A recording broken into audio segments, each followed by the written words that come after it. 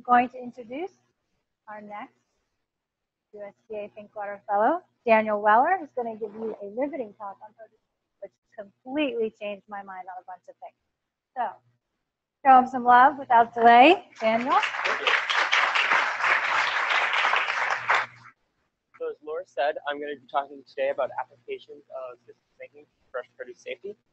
Now, the first question I usually get when I tell people that I work on produce safety is, what is it? And why do I care? Well, in the most general sense, you care because there's significant uh, morbidity and mortality associated with disease worldwide. Uh, the World Health Organization estimates that there are 600 million cases of foodborne disease per year, and that roughly 400,000 of these result in death. If you notice this graph right here, this is the number of uh, daily adjusted life years that are lost to specific foodborne pathogens every year. What I want to point out is that specific pathogens are associated with the loss of more than a million daily. And then within produce-borne disease, there's produce, there's different foods that are associated with it. The single ingredient food that is associated with the most illnesses per outbreak and the most outbreaks in the United States is fresh produce.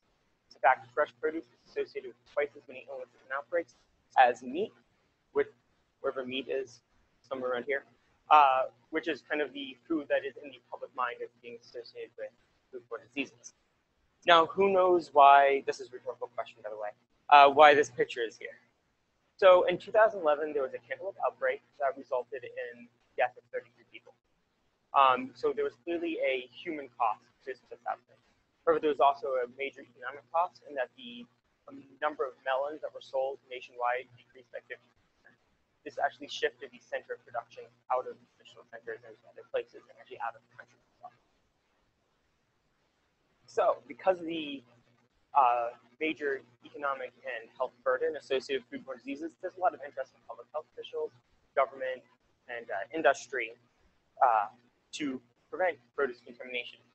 And so past studies have shown that you can prevent produce contamination in the pre-harvest and the post-harvest environment so that the low levels of capacity contamination that happens in the pre-harvest environment can contaminate post-harvest environments where the uh, pathogens can then proliferate and contaminate large amounts of product.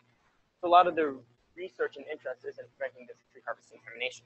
However, this is really tough because the pre-harvest environment does not exist in a vacuum. The pre-harvest environment is affected by the adjacent natural and built environments, as well as a lot of different moving parts that are both part of the uh, farm landscape as well as management practices. As a result, any action we take will impact food safety, and any food safety measure we implement will have unexpected environmental, economic, and even food safety consequences both the short and long term. This is kind of your classic wicked problem.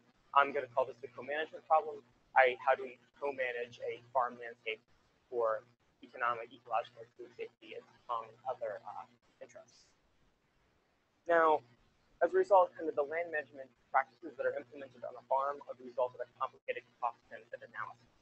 However, the cost and benefits that the uh, manager decides to use in their analysis is really dependent on the goals as well as the mental model they have with the pre-harvest environment.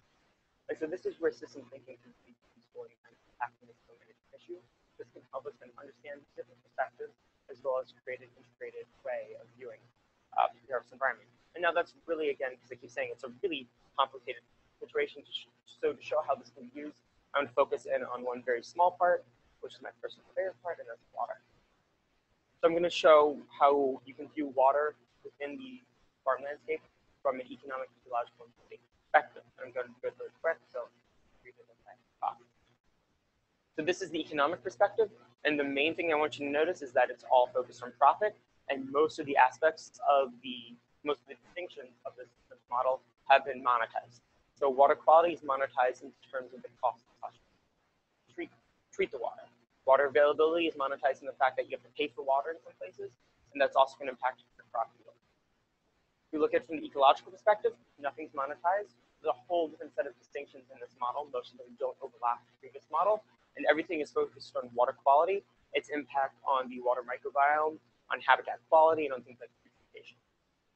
So if we then go to the food safety perspective, it's not even focused on water. It's focused on the pathogens that the water can transfer from the environment or in the water itself. So I kind of got ahead of myself for a second, sorry. So now the problem becomes, how do we integrate these disparate models now that we have used some thinking to kind of conceptualize different perspectives of them.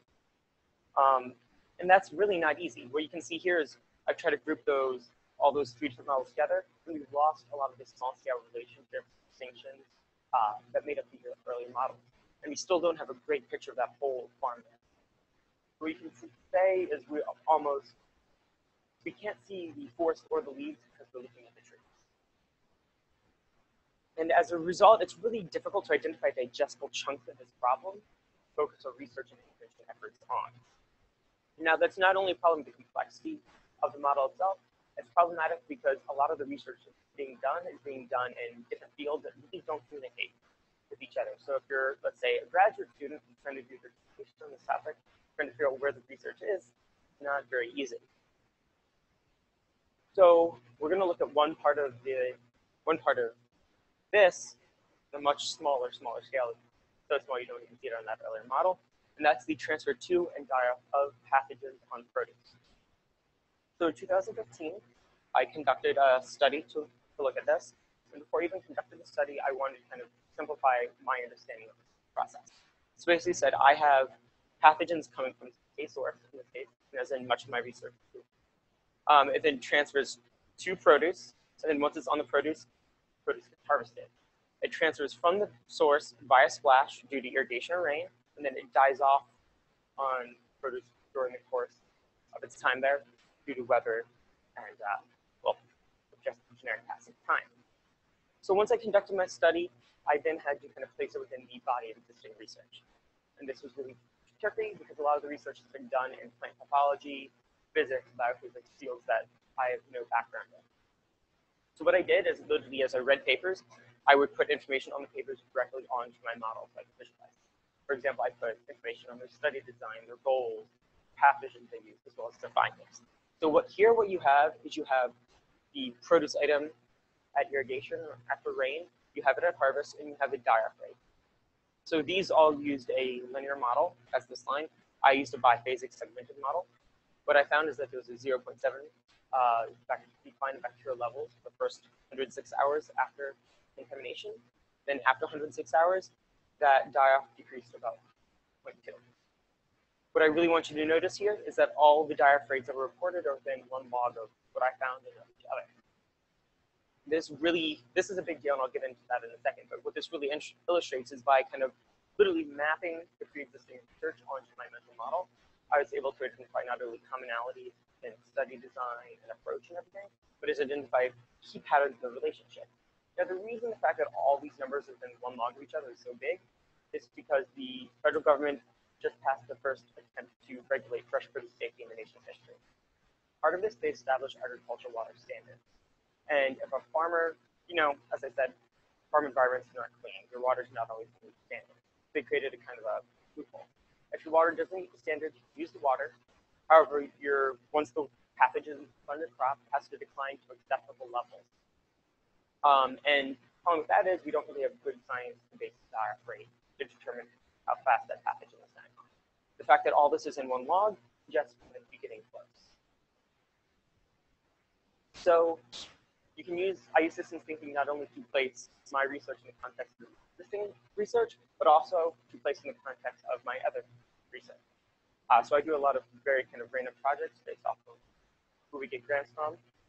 Um, and so I had a hard time as I was going to write my dissertation, figuring out how they related to each other. So basically what I had, my earlier projects looked at the effect of landscape structure and uh, land and farm management practices on microbial loads in soil, water, and feces, and the transfer of, you know, all of this from feces onto produce. Now the project I just showed you didn't really seem to fit into that. Well, this all transfers to the produce. And that study looked at the transfer and die-off of pathogens on produce. You can then relate this all to risk at consumption. Now I want to pull this all the way back and kind of take it full circle. I talked a lot about multiple different mental models today and how I use them. However, I want to make it clear that these are all different aspects, these are all the same model. All three of these are picturing the same thing. And who might want to use them is very different. Let's say you're the plant manager for this processor and you're trying to identify hazards and critical control points for the space you're. You might really want to use this. It's very linear, it's very easy to understand. It's a flow chart. That's how it's done. Let's say you're a farmer and your buyer wants you to implement both conservation and food safety programs.